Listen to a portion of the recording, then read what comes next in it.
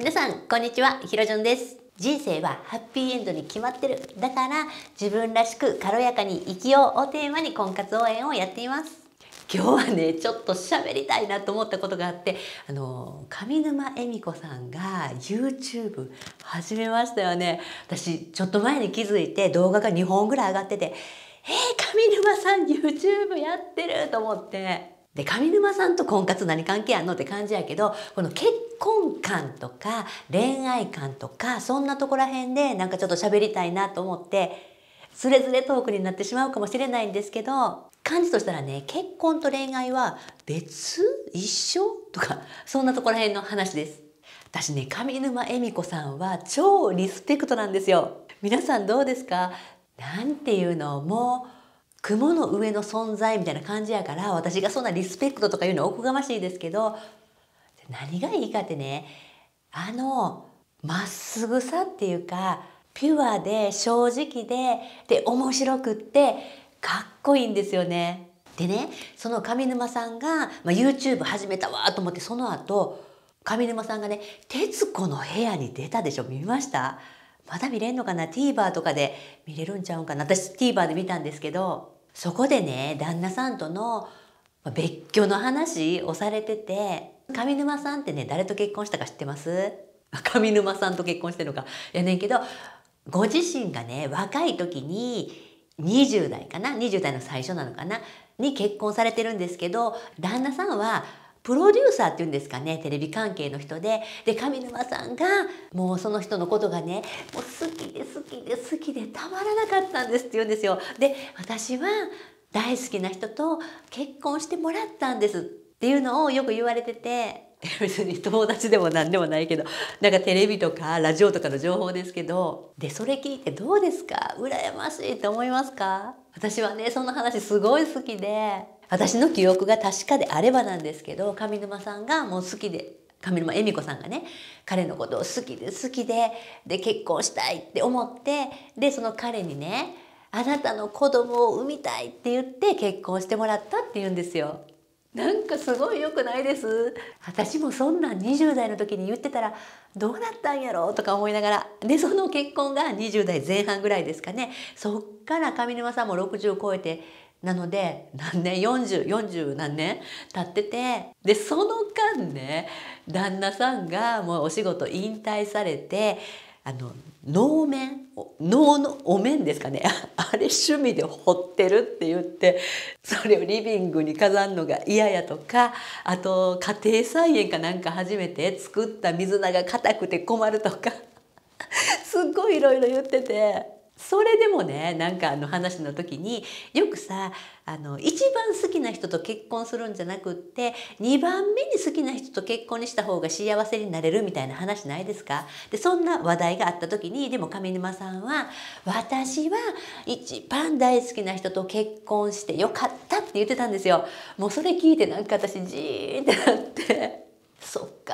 とか思ってねで私はどうやったんかなとか思った時にこれ結婚観とかの話になってくるんですけど、まあ、一番誰が好きやったかって言ったら分かれへんけど、まあ、その上沼さんが好きで好きでっていうその感じで言えば一人だけね思い当たる人がいるんですよ。まあ、好きっていうよりもどっちかというと憧れもうかっこいい素敵みたいな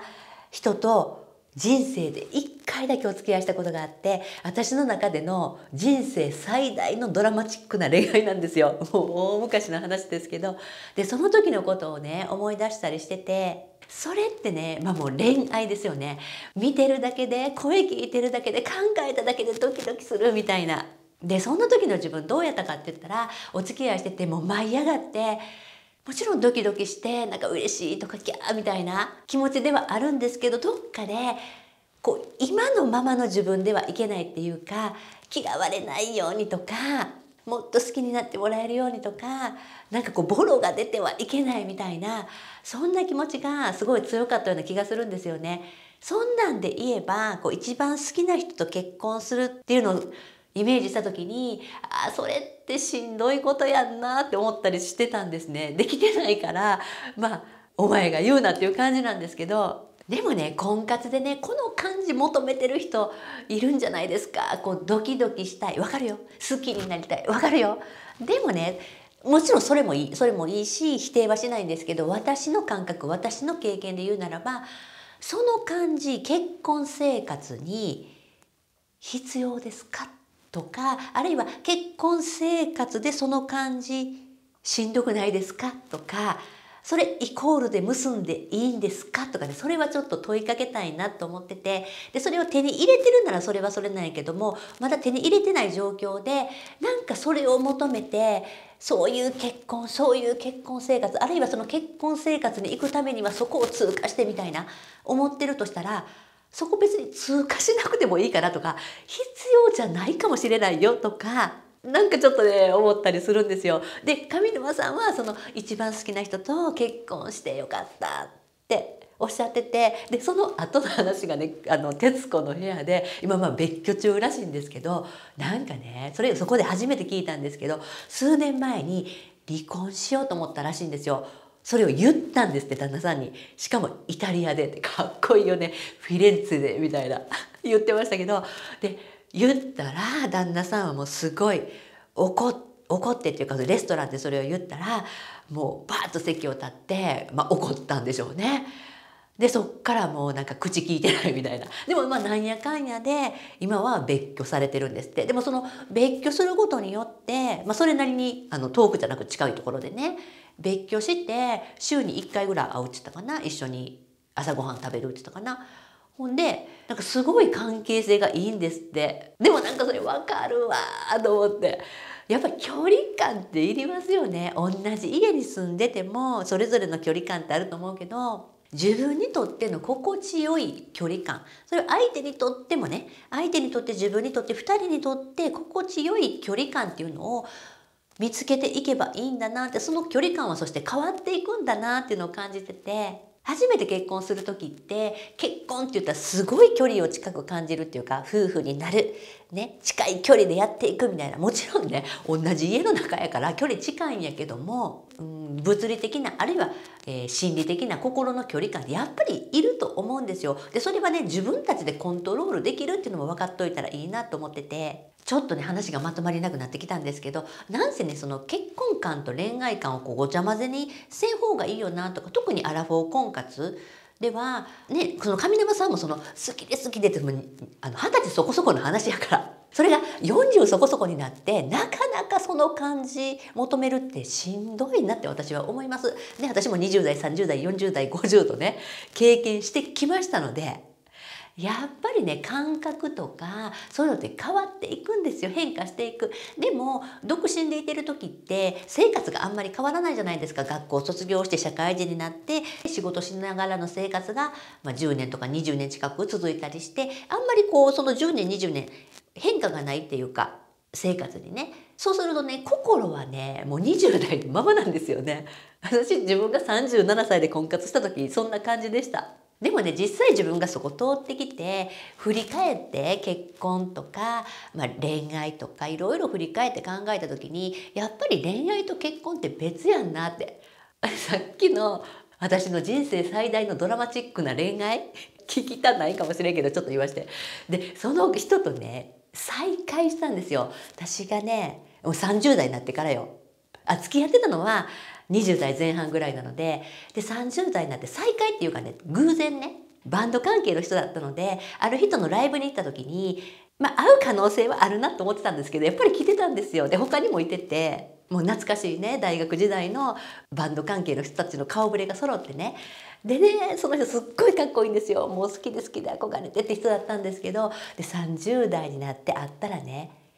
まだかっこよかったんですよ。もうその人はもうお子さん2人で2児のパパだったんですけどでもね相変わらずかっこよくてね。でもさ例えばその人ともし結婚してたら私ねもうドキドキして心配で心配で穏やかな生活なんて過ごせないと思う。なんか会社に送り出すのが不安でかっこいいから。イメージで言うたらトータス松本に似てはるんよ。くっきりした男前。もうほんま見てるだけでドキドキするみたいな。せやからねさっきの話で言うなら一番好きな人とは結婚しなくて正解だったのかなみたいな別にまあ私振られたんでね結婚とかそんな問題でもないんですけどもうすぐに振られてるんですよ。話をまとめるとねこう婚活の中で結婚にね恋愛の感情を、まあ、求めてもいいんやけどなくってもいいんやでって私言いたいんですよ。旦那さんとそんなドキドキの恋愛関係になったかった別にそんなこともなくって多少なくもないけどでじゃあなんで結婚したんって言われるんですけど私ね大きな声で言えないんですけどあの婚活中ね今の旦那さんとデートしてる時ってほぼほぼねお酒飲んでるんですよ。旦那さんお酒好きで私もそんなめっちゃ飲む方でもないけど、